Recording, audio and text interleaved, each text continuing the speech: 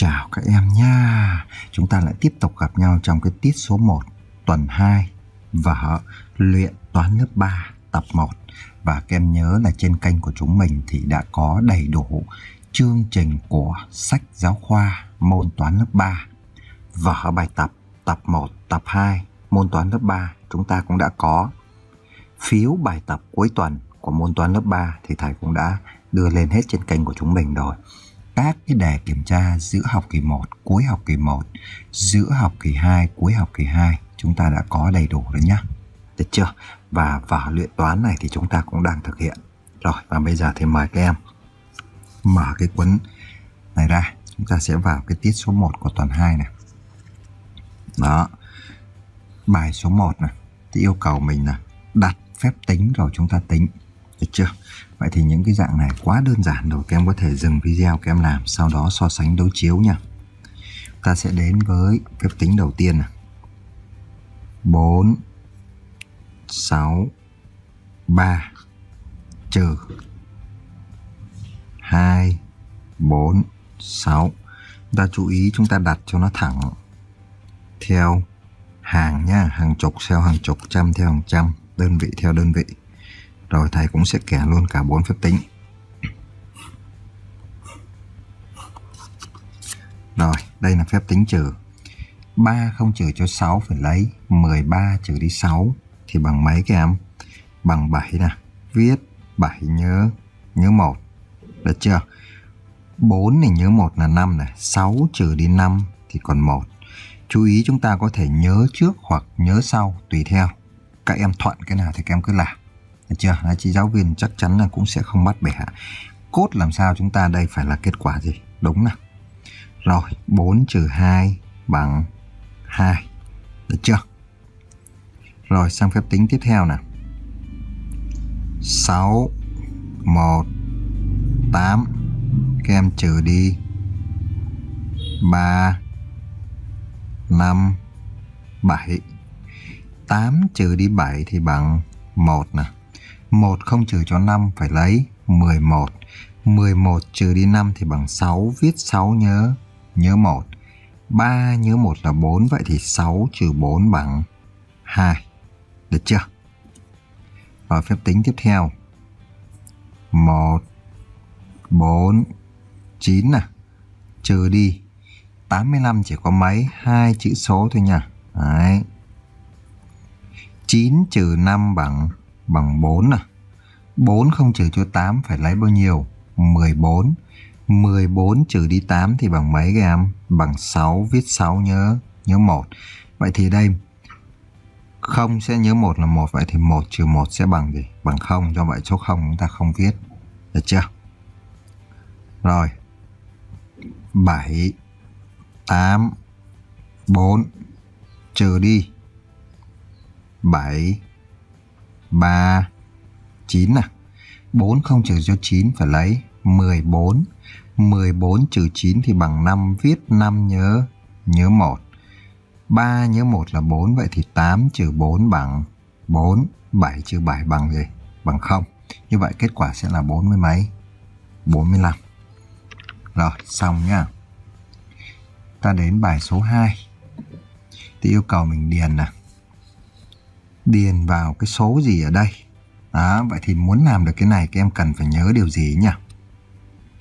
Nhớ được cái công thức số bị trừ, số trừ hiệu nè. Đó, bây giờ chúng ta muốn tìm là tìm gì?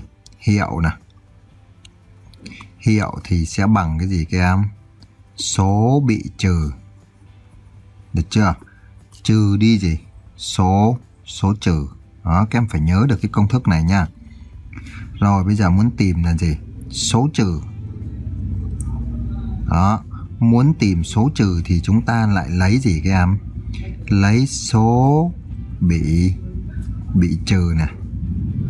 Trừ đi cái gì? Trừ đi hiệu nè. Được chưa?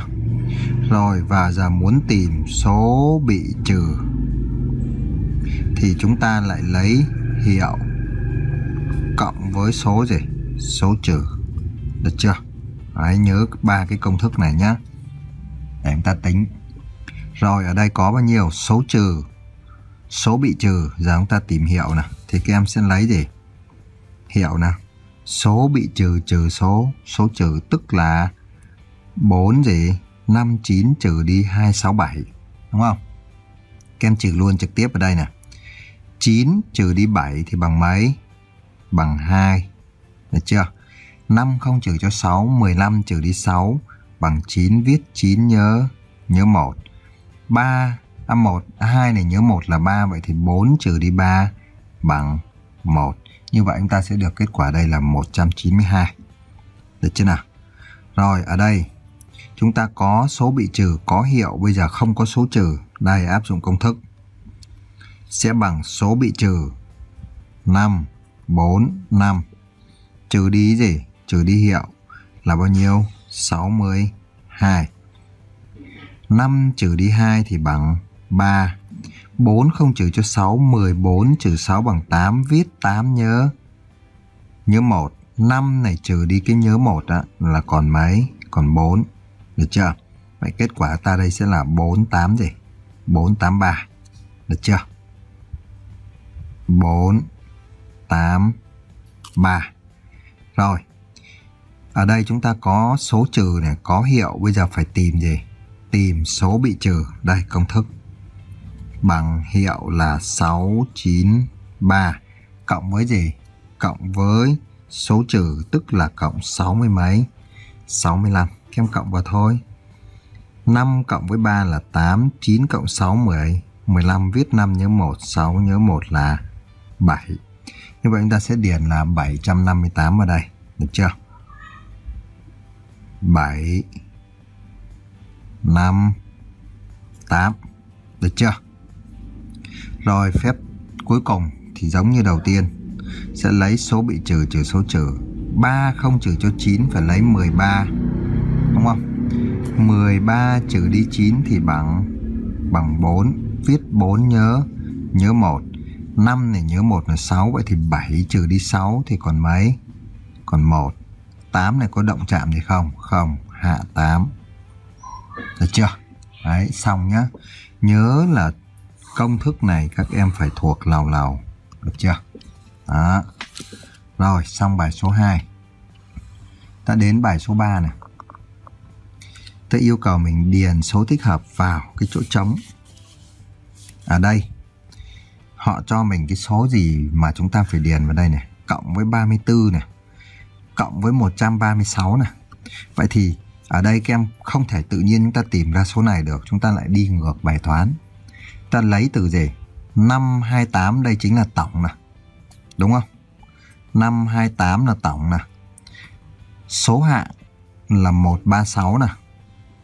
Đó, vậy giờ ta muốn biết cái số nào cộng với 136 bằng 530 528 thì chúng ta sẽ lấy 528 này trừ đi để tìm được số này, đúng không?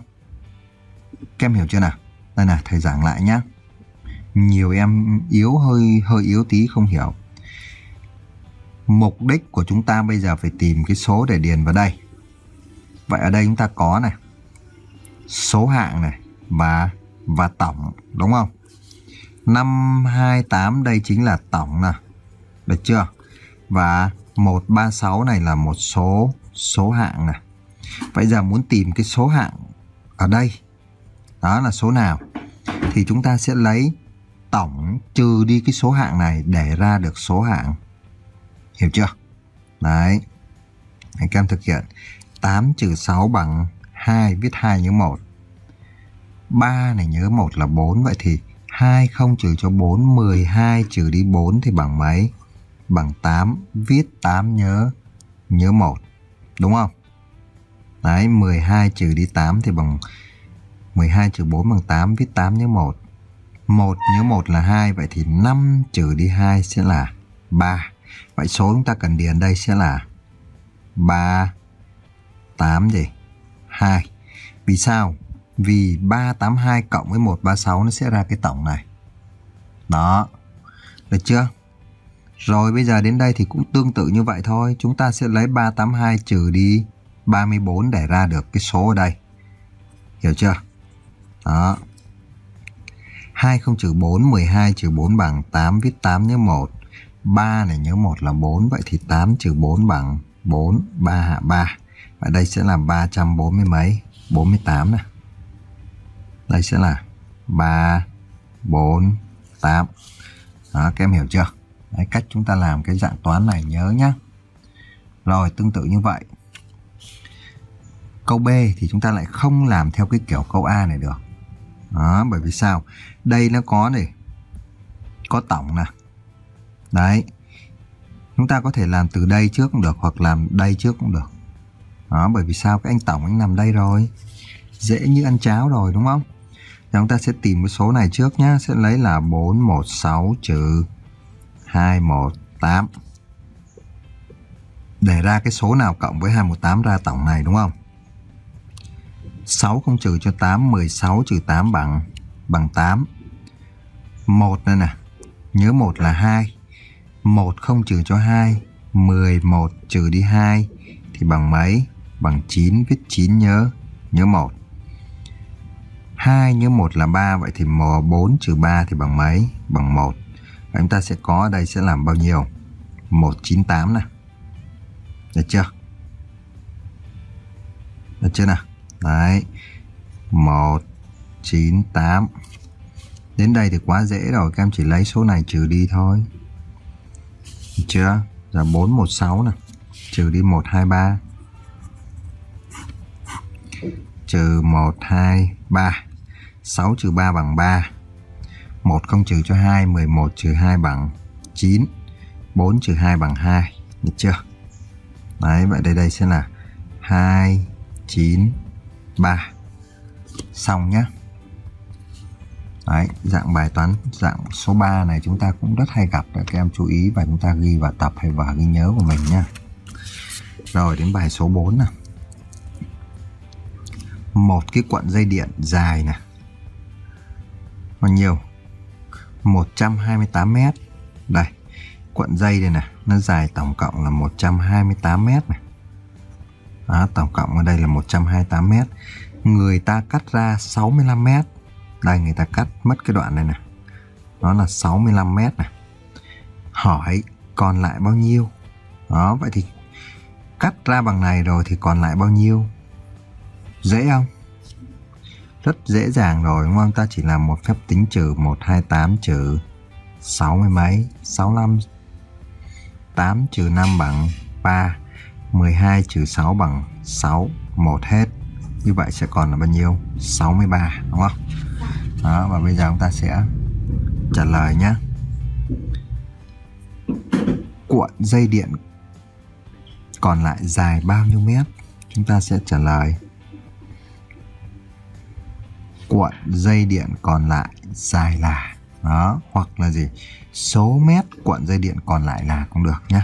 Tùy các em muốn đưa cái nào lên trước cũng được. Cuộn, dây, điện, còn, lại, dài, là. Được chưa? 128 là chiều dài của cả cuộn dây, trừ đi số mét đã cắt, tức là trừ cho 60 65 được chưa? Thì chúng ta đã thực hiện đây rồi sẽ là 60 mấy? 63 mét. Đó, và kem ghi đáp số thôi. Như vậy thì cuộn dây điện còn lại là 6 3 mét. Được chưa? Rồi xong nhá. Chúng ta sẽ đến với cái bài số 8 này. À, trang số 8 này.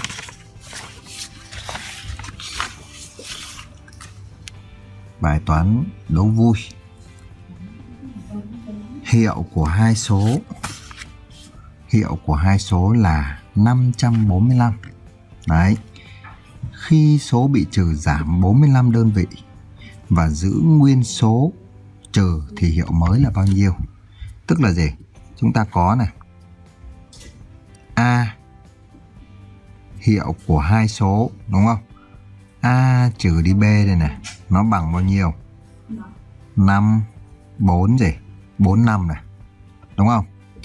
Đó, vậy giờ ta hỏi là khi mà cái số bị trừ đây này, tức là khi cái số a đây này, nó giảm nó giảm đi bao nhiêu? 45 đơn vị. Đó, thì cái hiệu đây này, nó là bao nhiêu? Đấy, vậy thì các em phải nhớ được cái dạng toán này, đúng không? Khi mà số bị trừ khi mà số bị trừ. Làm sao các em? Ở đây là gì? Giảm nè. Số bị trừ mà giảm thì hiệu này phải làm sao? Số bị trừ giảm thì hiệu sẽ làm sao? Hiệu phải gì? Phải giảm đúng không? Đúng không nào? Đây nè, ví dụ nè. Số bị trừ là 4 nè. Trừ đi 2 thì sẽ bằng gì? Bằng 2 2 đây là hiệu đúng không? Bây giờ số bị trừ đây là nó giảm đi. Nó còn 3 chẳng hạn.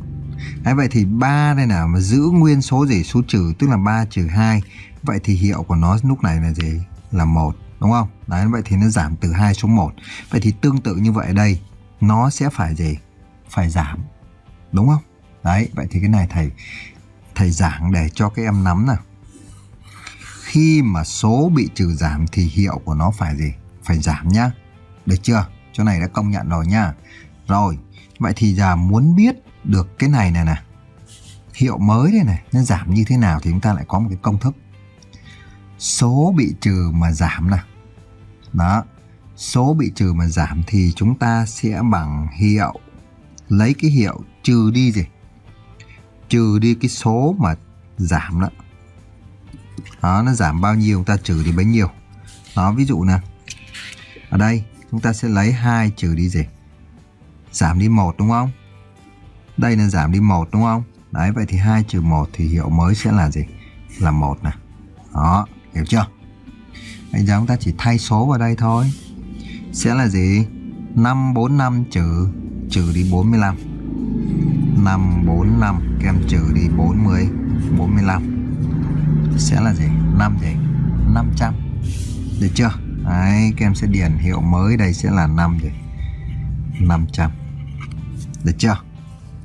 Rồi xong nhá. Rồi đến câu B nè. Câu B thì không giống câu A ở đây. Cũng là hiệu ở đây nhưng mà nó là bao nhiêu? Đây thầy sẽ dùng một cái viết khác cho các em phân biệt. Hiệu của hai số là 182 khi số trừ giảm. Đây, số bị trừ, số trừ đây nè. Nó giảm đi bao nhiêu? 32 đơn vị. Đó. Vậy thì ở đây chúng ta lại thấy nè. Ví dụ cũng là một phép toán này nè. 4 trừ 2 bằng 2 đúng không? Vậy thì khi cái số trừ đây nè, nó giảm đi. Được chưa? Tức là 4 là trừ đi 1 thì sẽ bằng mấy? Bằng 3 này. Vậy các em thấy là số trừ mà giảm thì hiệu lại làm sao? Hiệu là làm sao? Ngược lại đấy nha. Ở đây chúng ta sẽ có nè số trừ. Số trừ mà giảm. Thì hiệu lại tao. Hiệu lại lại tăng. Được chưa? Đúng không? Cụ thể đây hiệu là hai. Nó giảm đi một thì nó lại tăng rồi. Được chưa? Vậy thì công thức chúng ta tính ở đây. Muốn tìm cái hiệu mới ở đây nè của số trừ giảm đấy nhỉ? Thì chúng ta sẽ lấy hiệu cộng với gì? Cái số tăng. Tức là kem lấy gì? 2 cộng với 1 thì nó sẽ ra gì? Ra số 3 được chưa? Đấy, bây giờ chúng ta áp dụng cái công thức này vào thôi. Chúng ta chỉ cần lấy gì? 182 chưa cộng với cộng với cái số giảm là 32 4 83 11 viết 1 nhân 1 1 nhân 1 là 2 như vậy thì hiệu mới đây sẽ là 2 1 4 được chưa? Đấy, chú ý hai cái công thức này cho thầy nhá. Rồi và đến đây thì chúng ta đã thực hiện xong cái tiết này và các em nhớ đừng quên chia sẻ video và giới thiệu kênh của chúng mình nha. Bye bye.